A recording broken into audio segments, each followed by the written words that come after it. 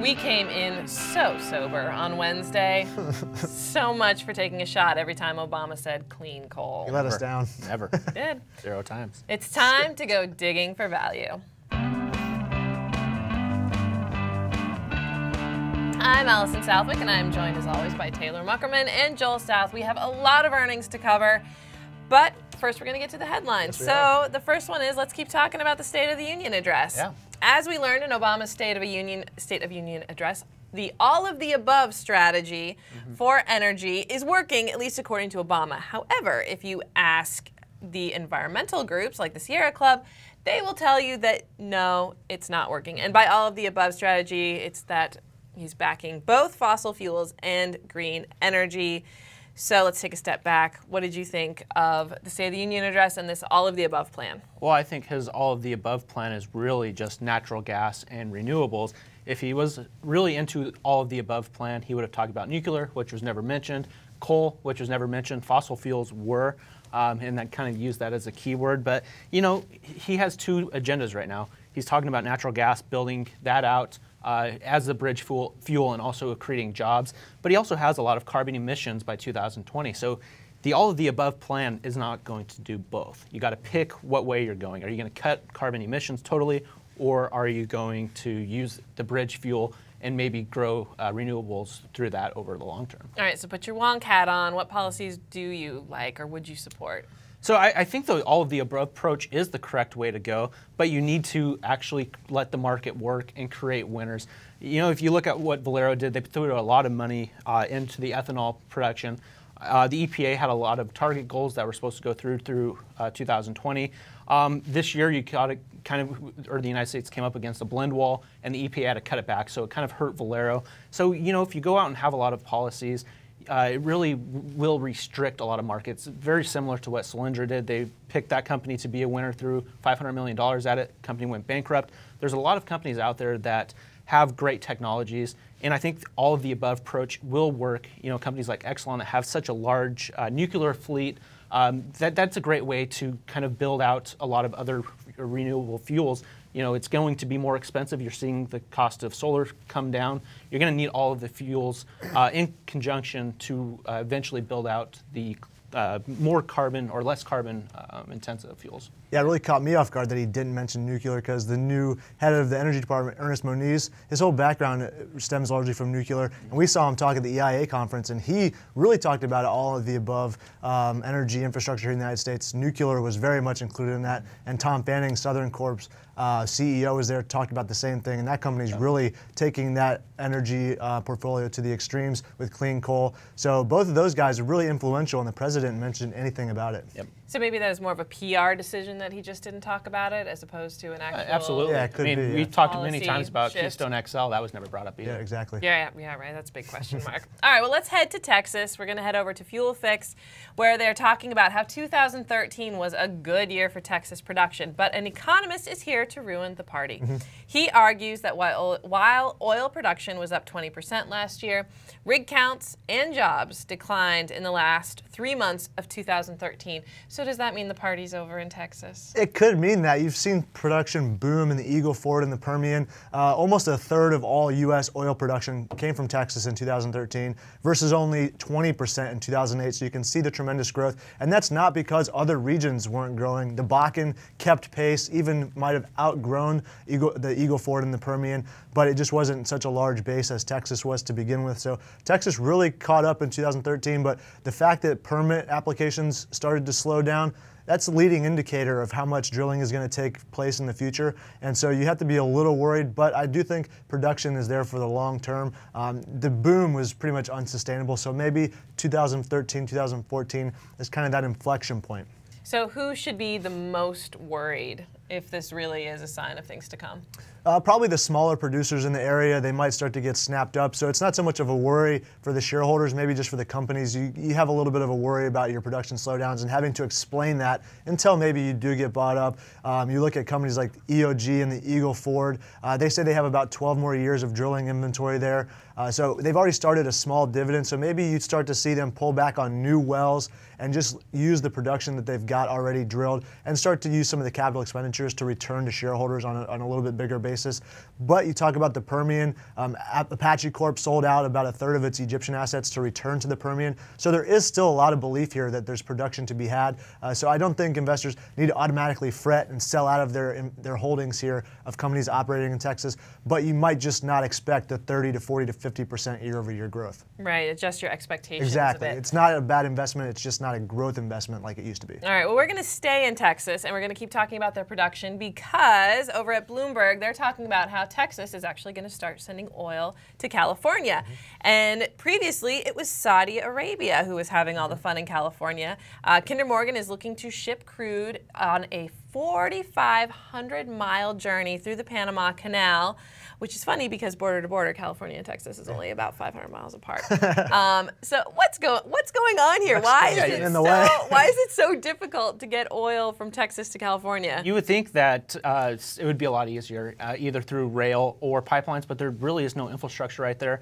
So they're trying to go in the near term, and Kinder Morgan is a company that's getting a lot of the tankers and basically taking the oil from the Gulf Coast through the Panama Canal and all the way over. Obviously, that's very expensive, especially if you are moving United States crude. You have to have a tanker that's from the United States. It has to be United States made with the United States crew. And basically, the tankers that fit that bill are in short supply. There's about a seven-year wait list right now, and it takes about 10. It's about 10 times more expensive to use uh, Jones Act, is what it is uh, called, to use a, a, tanker from that qualifies for the Jones Act to move it. So yes, it's very expensive. However, if you actually compare it uh, to, say, moving uh, crude by rail, it's actually more affordable. It's about $10 a barrel, which will be the total expense. And if you're getting that uh, oil that's around 90 $93 from the uh, Eagle Ford and moving it over, uh, it's still comparable or better than what you're getting from the Saudi Arabia. And in comparison, if you look at Washington State, and getting crude from uh, the Bakken, it's about nine to ten dollars. Uh, just move it that far. So if you were to move from Canada on down,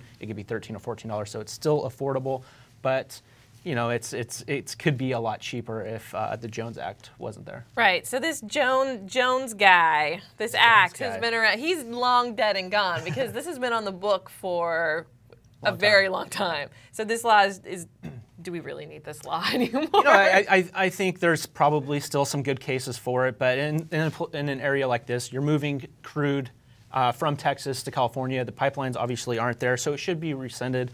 Um, and the reason that is, is if you look at where California is getting their oil, 24% of the oil they're, they're importing is from Saudi Arabia, 13 more percent is from Iraq. So if the United States wants to be energy independent, they really got to start cutting back from the OPEC oil. And I think this is a perfect example using the production that we're getting 500 miles away and moving it or rescinding the Jones Act to get it over there cheaper. All right. Well, our last story of the day, we're going to head over to the Financial Times, where mining has had kind of a rough go mm -hmm. lately, but it's looking like it's going to be less rough maybe in the future, according to future, maybe? Possibly. Okay. Maybe for the copper sector at least, because copper. there are some industrial uses for copper. Unfortunately, it's been so tied to China um, and the growth that people have been expecting there. And because they pulled back a little bit on GDP growth expectations, um, copper has been hit pretty hard. The prices were down in 2013 uh, due to oversupply. People still worry about a little bit of oversupply moving forward. Unfortunately, um, you can predict the supply because mines have to report that, but you can't always predict demand accurately. So warehouse inventories could be fluctuating. Um, actual demand from countries and importing it might not have accurate numbers. So um, right now everyone's talking about oversupply, but there are companies out there that believe whether or not they're just talking up their own game is yet to be determined. But um, because it is an industrial element, as growth continues in the United States to recover, and once Europe does really start to, to, to pick up some steam, I do think copper will rebound. So this can be kind of an area that is difficult for investors to make informed can, yeah. decisions in. So what's your advice for investors? Well, definitely look at a balance sheet because what you're really looking at here is mines that cost all different uh, amounts of all-in sustaining costs is what they call it to produce. Some mines are much more economically feasible than others, but it's hard to determine that. So you really have to look at the financial strength of companies. And basically, I'm looking at a company like Freeport McMoran Copper and Gold, uh, who's diversified themselves into oil and gas to kind of remove some of the volatility in copper and gold prices. Um, that being said, they're one of the larger copper producers in the in the world, and um, they, they really have a strong balance sheet, pay a good dividend, and they finished their 2013 relatively flat in the stock market. So I think you can pick this company up at a good price before it really starts to ramp up oil and gas production. And then you look at a company like BHP Billiton, who's producing more copper, so they're not as fearful as some others. Their copper production was up 6% in the back half of 2013. And with a company like this, they're more well diversified because they really produce a lot of iron ore as their, as their bread and butter on a volume basis. So um, look for companies that are diversified with a strong balance sheet so they can weather downturns like this. All right, that's going to do it for the headlines. It's now time to get into some earnings. Yippee! take a big, take a big deep breath because we've got a lot of co companies to cover here. The first one We're in of the which, thick of it. yeah, we are in the thick of it. The first one, um, one that we're going to talk about is Core Laboratories, and they reported this week. Joel, what did we learn? Uh, so this company, as always, turns in a good quarter. This is this quarter is the fifth straight quarter where they turn in a record uh, quarter. And basically, with this company, uh, th- their business is really reservoir optimization, getting more out of oil wells primarily. And they do this better than anybody. Everybody uses them from big oil all the way down to mom and pop shops uh, in somebody's backyard. This company really is fantastic. And there's a few metrics that they always go off of, and one's free cash flow. They uh, turn 29% of their revenue into free cash flow, which is fantastic, and that keeps going up. This was a fa- fantastic number when it was down at 23, 24% earlier uh, last year, and it keeps increasing. They just keep getting more profitable. Return on invested capital is another metric they look at, by far and away the best in the oil and gas services industry. And then they like to return a lot of money to shareholders. And if you look at uh, the amount that they gave to shareholders this last quarter, $1.86 was returned to shareholders. If you look at their EPS, it was uh, $1.43. So they're returning more to shareholders than they're actually bringing in, which means they have a lot of cash on hand. And on top of that, they doubled their dividends. So this is just a company, fantastically ran company. I- they have a service that basically commands whatever price the people, their customers want. So they're in a great niche. They understand what they're doing, and they do it better than anybody in the world. Man, it sounds like you like some. What do I you do like think? it. I mean, is it- I mean, you're I mean, we went down to visit them in what was it October? We went down there September, September, late uh, yeah, late September, and we got a tour of the facility. We were there for a few hours, and um, a lot of Kool Aid around that those parts. And I drank it. I know Joel did, um, and definitely believers. And I think one of the reasons why they haven't grown as much lately is because of the worries offshore. But their leverage offshore is much more than it is onshore. So as that industry starts to pick up, their revenue line could really shoot up much further than you've seen in the past. It was our top stock of 2013 at the Fool um, that people might have seen at the bottom of our articles, and it was up over 70% last year. And uh, you very well could see. Maybe not 70% this year because the market started off a little bit rockier, but they've got a great future. Yeah, their profitability is not going anywhere. Yeah, it's exactly. a long-term game. yeah. All right, next company we got to talk about is Dow Chemical. Yeah, they reported and uh, they, they blew estimates out of the water, beat them by 50%. Um, all four of their main revenue segments uh, earned made a profit in the last quarter and a very strong full year despite activist investor Dan Loeb trying to kind of separate the parts and piecemeal it out to investors, trying to build value. But Warren Buffett has come to their defense lately and said he likes this company right where it's at. Berkshire Hathaway is a shareholder. Um, so having Buffett at your back can never be a bad thing. And uh, you've seen them sell off a lot of assets lately. It's something that their competitor DuPont started in October of last year, selling their performance chemicals business.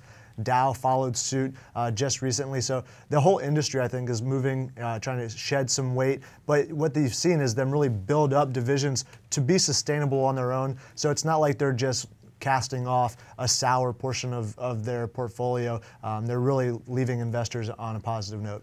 Yeah, definitely. I, I just cover a little bit more on that. Yeah. You know, this is a company that's really build or more building themselves on the cheap natural gas that you're seeing in the United States. And as you see that oil price above $90, you're going to see more and more people tap that market, creating a lot of NGLs, bringing down the price.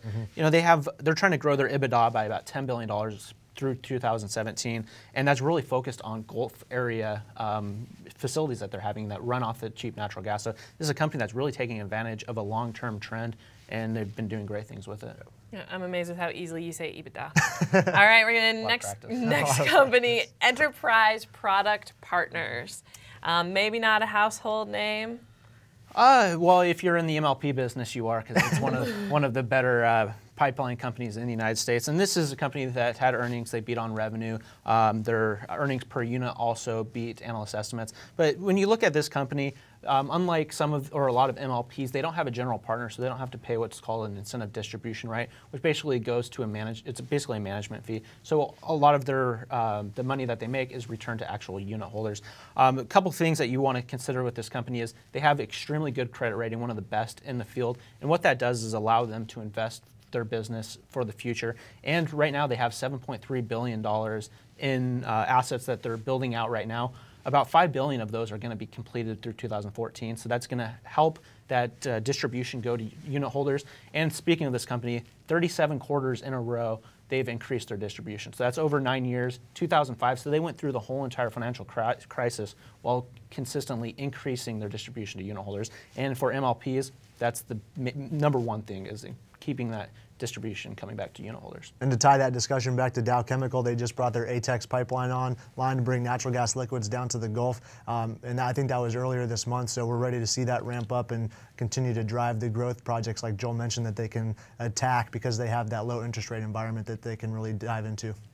All right, and the last one we're going to take a look at is Potash Corp. Yeah, we're going north to Canada, uh, largest fertilizer company by volumes in the world that you can publicly own. Uh, they had a very rough fourth quarter, 46% drop in fourth quarter earnings on a year over year basis, but not because of their own personal operations. The industry was in all kinds of flux uh, throughout the whole back half of 2013. 27% decline in pricing for potash, and which is their lead their lead ingredient for their revenue and, and earnings. So really suffered mightily. Um, 5% growth they're expecting over 2013 for the whole market, um, but they really did drop down their overall expectations just in December when they announced that they're going to fire I think 18% of their workforce. So a little bit on us leaving 2013 on a sad note, but the market's kind of stabilizing after a rough after a rough year of price dropping to the floor. But we think we found that floor after recent deals with China. So um, while 2014 might be that transition year, post 2014, I like this company a lot. Yeah, and a lot of that drop came from the the Belarus Kali uh, mm. split,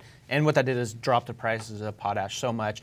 So you know, with a company that's very well run, uh, and you see 25% of its market cap get knocked off, yeah. you know, this is a commodity that's going to return. If you look at Uralkali, they shipped recently shipped 700,000 tons of potash to, to uh, China, and the price of that came in about 25% less than when the, uh, the, the uh, Belarus Kali was still mm -hmm. in mm-hmm. place. So what you're seeing there is a, a, commodity that's going to return. It, since it is cheap, there's going to be more usage. You know, this is a company that will return in a few years as the prices continue to go up. So, you know, this could be one of those opportunities where a company get, really gets hit uh, for something that really it wasn't in its own control, and it could be a, a long-term buy. Yeah, later on in February, you'll see if it was hit.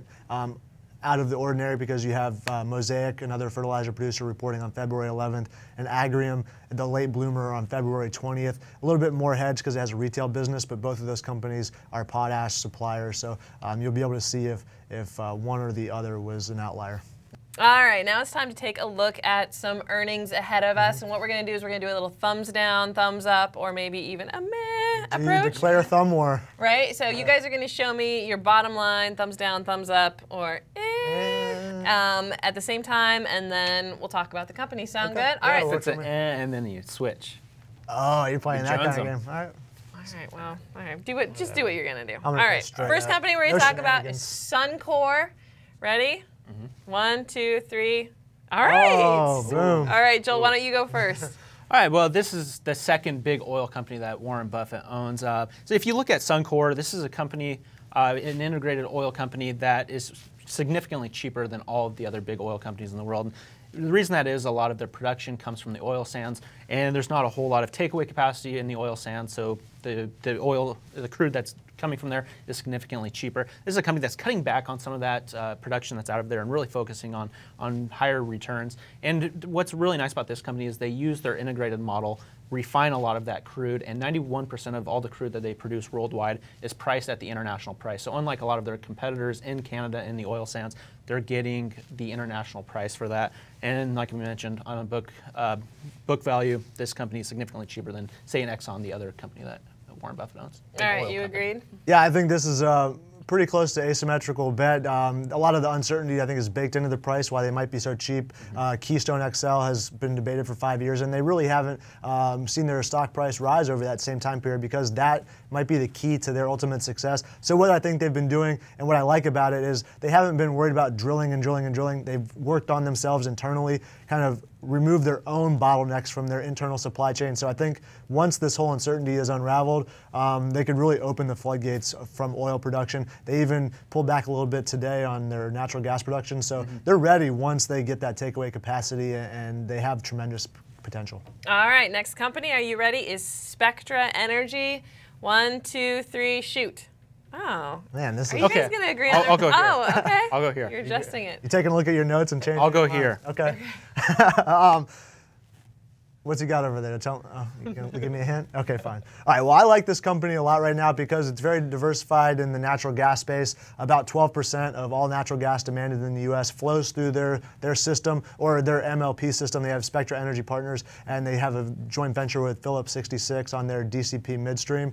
But then they also have a regulated utility that might not be the sexiest business in the world, but it is a nice little bet on the power use in the United States. And what they've been doing lately is dropping down a lot of assets to Spectra Energy Partners. So they're getting cash for all these assets, and Spectra Energy is taking their debt while they're maintaining that general partnership, like Joel mentioned with the, the distribution rights, they're getting about 80% of that from Spectra Energy Partners. So they're expecting huge uh, dividends to be paid their way, which then Spectra Energy investors are able to take advantage of. And through those di- dividend distributions, um, they're looking at about $25 billion uh, in potential growth projects. So um, this is a high dividend payer with actually a lot of growth in its future, which is a rare combination.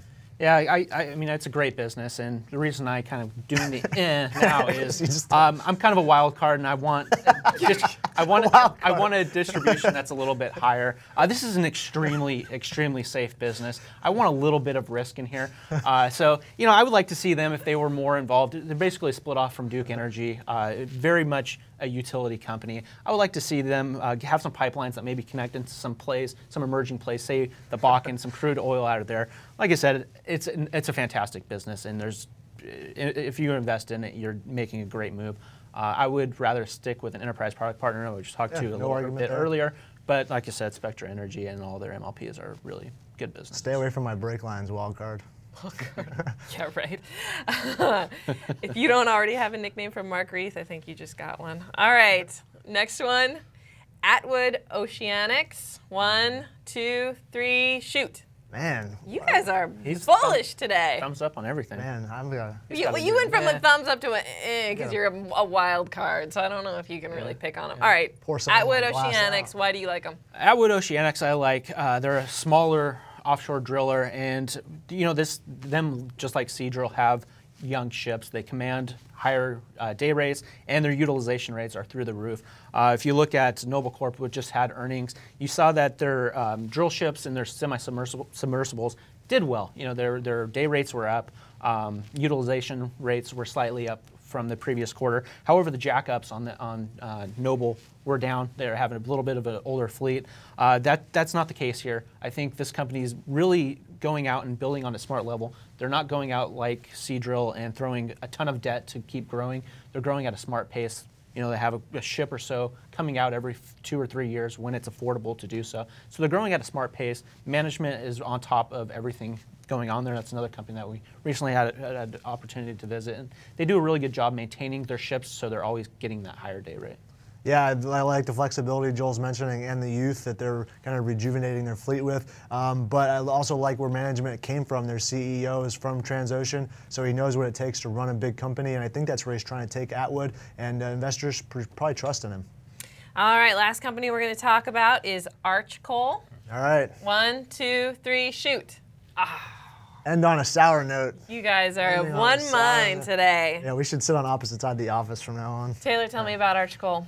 Um, well, they're in a tough business, American coal miner, um, not so diverse as a Peabody that reported uh, earlier this week. Um, their sales were up actually, but pricing killed them, so their overall um, bottom line didn't really reflect the 1.3 million tons that they sold, um, which was a 2% increase. So not a whole lot, but in a tough market, 2% growth in sales volumes can really help out, kind of reversing the course. They've been shedding costs, um, which I think they're probably done with. But Arch Coal just isn't in the same boat as Peabody. They don't have the international exposure. They, they do have some export capability, but not as much. So as coal continues to falter, um, I'm a little bit worried. There are some possible bright spots. You look at um, steel uh, companies maybe starting to restock a little bit as automotive strength and resident, non-residential construction strength has, has started to pick up a lot lately, especially in the United States. Um, but I'm, I'm still on the fence on coal. Um, I, am personally invested in CONSOL Energy. We talked about on Tuesday, so they're they're into coal, but they have a natural gas hedge in there as well. So a pure play on coal, I'm a little bit worried about that. Yeah, I mean, I, I agree. I, um, you hear the death of coal quite a bit. I don't think that coal is going to die. No, I, mean, I think there's some strong coal companies out there that have a lot of upside. However, with Arch Coal, they're such a thermal coal business, really uh, geared towards the domestic market, which I think is going to be in for a very, very hard landing for a long mm-hmm. period of time. So, you know, I still think there's a lot of deals in coal. Coal is going to be around. However, this company is they're lo- I mean they've been losing a lot of money for a while. They have uh, a couple years down the line they have a lot of debt that they'll have to re- pay back. So it's there's still a lot of uncertainty there, and if there's not a big spike in coal prices, this company could really be hurt. Yep. All right, guys, well, well that's, that's going to do it for yeah. today then. If you are looking for more analysis in the energy sector, you want to follow us on Twitter at TMF Energy. And you also want to check out our free report, OPEC's Worst Nightmare. You can get a copy by emailing OPEC, O-P-E-C, at fool.com. For Taylor Muckerman and Wildcard South, I'm Allison Southwick. Go Seahawks.